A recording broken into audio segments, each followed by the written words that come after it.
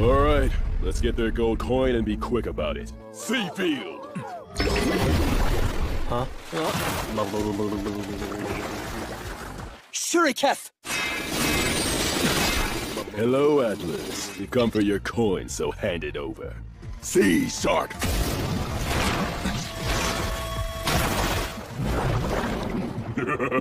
Where are you, Mushroom Head? You cannot seek my Seafield. What was that? It was moving faster than anything I've seen before. That was him! When he fell into my spell... Where is he? I can't see! Sea Shark! Evolution! now that I'm in this form, no one can stop me!